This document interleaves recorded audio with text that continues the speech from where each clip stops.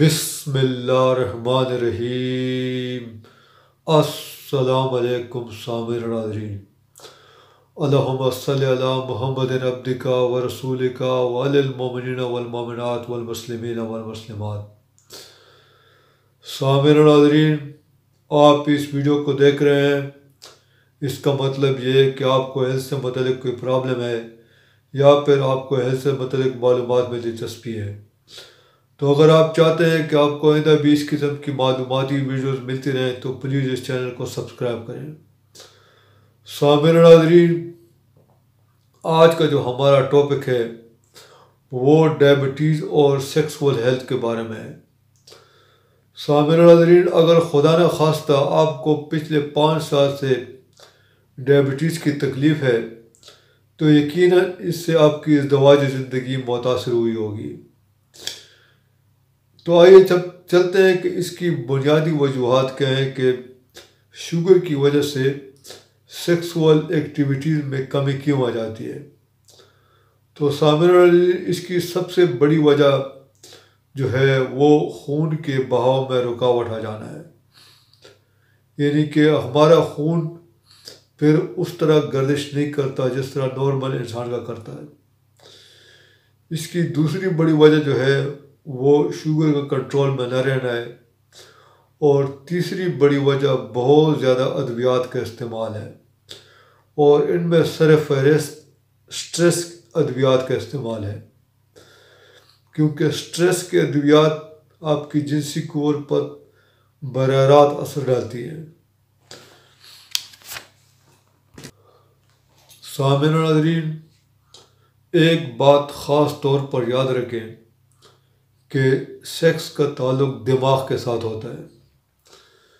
جیسے ہی آپ کے اندر سیکس کی خواہش پیدا ہوتی ہے، تو دماغ سے سگنلز جنسی اعضاء کی طرف جاتے ہیں۔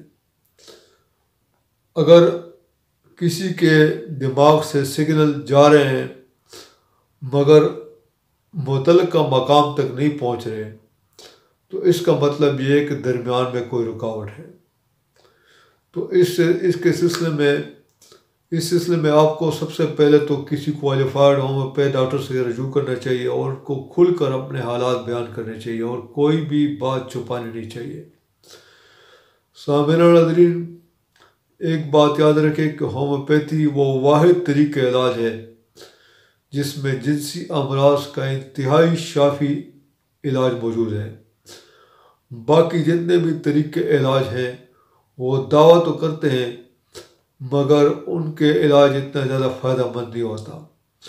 اور نہ وہ اتنا دیر پا ہوتے ہیں، بلکہ وہ بجائے فائدے کے نقصان اس میں زیادہ ہوتا ہے ایک بات یاد رکھیں کہ ایلوپیتھک میں خاص طور پر جنسی، جتنی بھی جنسی امراض کے لیے ادویات ہیں، ان کی سب سے بڑی وجہ گردوں میں انفیکشن ہوتا ہے۔ پھر اس کا بڑا، سب سے بڑی جو سائڈ افیکٹ ہوتا ہے وہ پھر گردوں میں انفیکشن پیدا ہو جانا ہے۔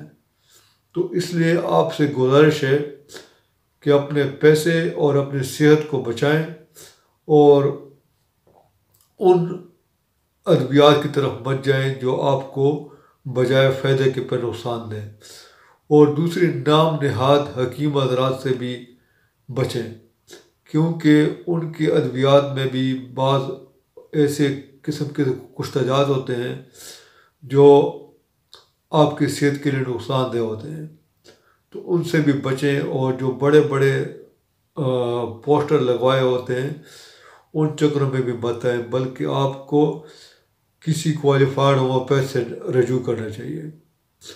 سامعین ناظرین، اس کے ساتھ ساتھ نسخہ بتانے سے پہلے میں آپ کو یہ بتا دوں کہ اگر آپ کو شوگر ہے اور آپ کو جنسی کمزوری ہے، تو آپ ایک، میں آپ کو ہربل کے ایک ٹپ بتاتا ہوں کہ آپ سو گرام کلونجی لے لیں اور اس کو اچھی طرح پیس لیں اور اس کو سو گرام خالص شہد میں اچھی طرح مکس کر لیں۔ یاد رکھیں کہ میں کہہ رہا ہوں خالص شہد۔ اس اس میں اچھی طرح مکس کر لیں اور روزانہ ایک چمچ کا چوتھائی حصہ استعمال کریں۔ اس کے ساتھ ساتھ جو ہومیوپیتھک کا نسخہ ہے، وہ آپ نوٹ فرما لیں۔ یہ جو دو ادویات میں آپ کو بتانے والا ہوں، یہ شوگر کی وجہ سے جنسی کمزوری اگر پیدا ہو جائے، تو اس کی چوٹی کے ادویات ہیں۔ تو اس میں سب سے پہلے ہے کوکو۔ اس کو آپ نے ٹو ہنڈریڈ میں لینا ہے اور اس کے بعد ہے ماسک اس کو بھی آپ نے ٹو ہنڈریڈ میں لینا ہے۔ یہ دونوں ادویات کو آپ نے باری باری دن میں دو دفعہ یا تین مرتبہ پانچ پانچ قطرے یا دس دس قطرے تقریباً تین چار مہینے لگاتار استعمال کرنا ہے۔ ان شاء اللہ تعالیٰ کوئی وجہ نہیں کہ آپ ٹھیک نہ ہوں۔